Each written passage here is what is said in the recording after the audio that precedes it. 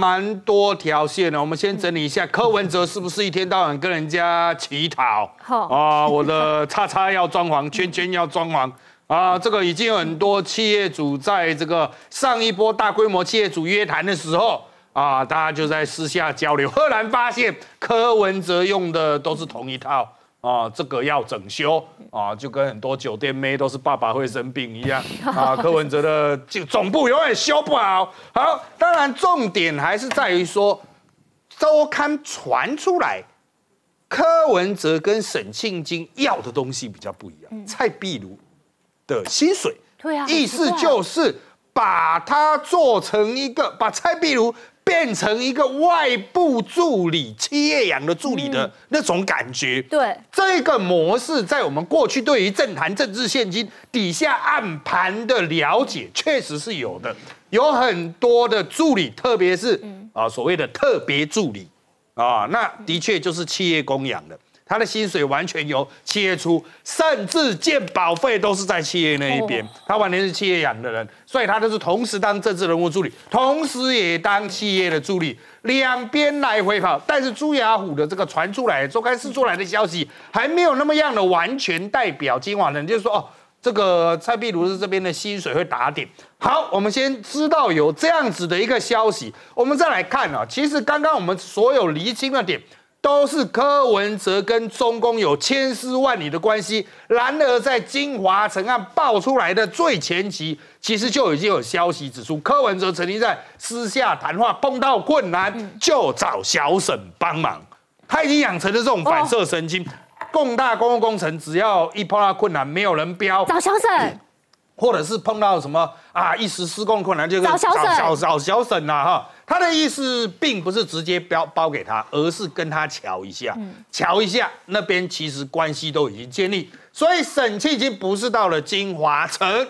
的这一出才真正的跟柯文哲有千丝万缕的关系，他们是一个搅弄很久的过程，而柯文哲显然把沈庆金当成什么呢？如果真的有我拜托你去搞定这么多的事情，那当然你就跟其他那些企业不一样嘛，其他的企业是负责装潢我的办公室，那你不一样，你变成我长期的钱包。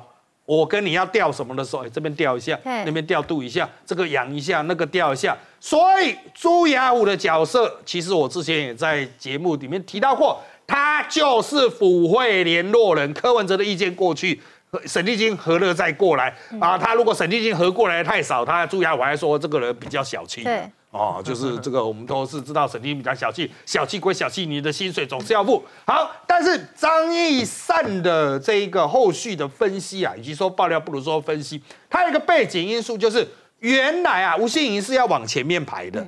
但是张一山认为哈，蔡壁如必须往前排，因为那当初在乔提名的时候，张一山有在里面，所以柯文哲本来就要吴欣怡往前，但是因为张一山把蔡壁如往前塞，所以吴欣就往后退。那柯文哲心中想的是，那我有必要的时候，蔡壁如要拉下来，那拉下来当然要给他做准备子弹嘛，你总不能把他拉下来，不然人家没薪水啊，辗转死于沟壑流落街头不太行 啊，所以一定要先安排好啊，就是他如果拉下。下来，那某些钱可以从，比如说沈立金那边可以去聘啊，或者怎么样。好，这个就是一个我我只能说是合理的推论，但实质上到底是不是这个样子，我们要看后续的起诉书嘛。不过我还是要提醒啊，自从洪建义爆料以来哈，到现在都还没有蔡壁如都还没有去告。哎，我在讲哦，他受访是说我已经提告了，就他没提告，还没有啊。哦，洪建义还是每天很悠闲的在一直在等啊，到处走来走去啊，所以。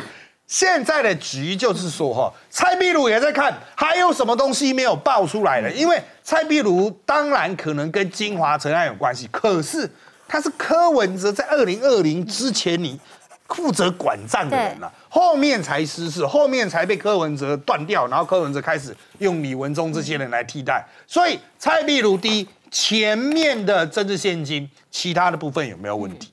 不见得是你现在这个 Excel 档的部分，前面的部分会不会被人抄到？这是第一个。那再来就是沈庆清，如果跟柯文哲的关系不是从二零二零之后，而是从二零一四啊，就像刚才小兵哥讲，二零一四开始就慢慢的有一些纠缠，慢慢有搅在一起的这种情形。那那个时候负责钱的是谁？就是蔡壁如啊。所以现在或许只是资料还没有翻到那么前面而已。诚如我们讲嘛，三百九十二到五百六，这个可能跟蔡壁如有关；五百六到八百四，那个是后面这一批人现在的啊出事被压在里面那些有关。所以如果这个案子继续往下升决，蔡壁如可能会中。那蔡壁如什么时候浮上台面啊？我觉得是蛮值得观察。不过这个还是可以牵扯到民众党内部的内斗啊。大家都知道，民众党现在三强嘛。啊，一菜两黄嘛，一菜两啊，一菜两黄，其中黄珊珊都躲在洞穴里嘛，左打黄国昌，右打蔡壁如啊，啊，蔡壁如也想揪着黄珊珊打，他想要去拉黄国昌啊，哦，就是他们三强彼此就互相拉来拉去。那现在的最新发展是我个人认为哈，双黄之间。可能会撕破脸哦啊！双王之间可能会撕破。黄国昌跟黄珊珊准备避云呐？哎，这个因为他们底下人已经卡来卡去，打来打去哦，放来放去，就像张静源的东西吧。张静源，嗯。到底跟柯文哲讲了什么？这些话谁会知道？哎，他当年跟柯文哲讲那些无微博，黄珊珊应该知道，黄珊珊应该知道，更早以前蔡壁如知道嘛？那他们谁去跟小玉讲的 跟？谁跟小玉讲的？对，这种话谁不会放 哦？这我这我躲在洞里放出来啊，大家就在翻车哦。所以我个人认为是，现在他们都知道彼此互相在打了，所以接下来。可能就是在这一周两周，可能又会有新的关于彼此的梗被丢出来，刺激看看，看大家还会有什么动作。那你们说，哎，那这一切跟柯文哲还有关系吗？没有，跟他都没有关系，因为柯文哲已经没有未来了。现在 是这剩下的三王要去割那个四年六亿。黄国昌的金身被黄珊珊破掉了，哎，他们会互破啊，对，你下去，你下去。所以我都讲，扯到最后面，赶快活下来是徐福。全台绝无仅有政论妇女党上攻上一波。啊好，国昌兵法的奥义呢，就是全身而退，取而代之。所有的小草要七点半上班，樱桃给我七点半给你清水吗？感谢支持，全台湾最欢乐、支持含金量最高的直播政论节目，狠狠抖内幕，收视狂开红盘，网络播放量突破千万次。现在我要发出奶粉召集令，周一到周五下午两点到四点陪奶鱼、奶球一起抖起来。什么？你下午的直播没有跟上？不用怕，晚间十二点友善字幕版等你一起来。